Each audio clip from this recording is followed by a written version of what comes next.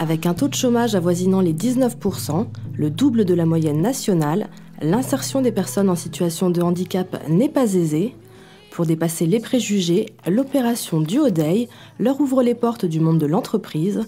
C'est ainsi qu'Ophélie a pu s'essayer le temps d'une journée au métier de serveuse. Alors viens, je te montre où on les range, comme ça tu verras. on les met en cuisine. Aux côtés de Peggy, la jeune fille de 23 ans semble confiante. Pourtant, habituée à travailler dans l'environnement adapté de l'ESAD de Bertrange, Ophélie a hésité à s'aventurer dans la peau d'une serveuse. Bah, j'avais peur, peur de l'inconnu. Parce que je sais pas comment ça allait se passer, si j'allais euh, réussir ou pas, mais comme on m'a dit, il faut tenter. Si on tente pas, on ne saura jamais euh, qu'est-ce que c'est de voir.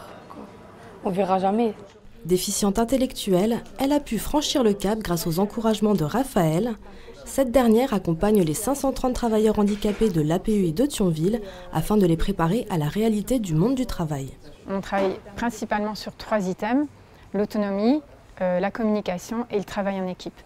Donc ça, c'est des compétences qui sont euh, indispensables euh, bah, pour tous, mais en particulier pour l'insertion au niveau du MOT.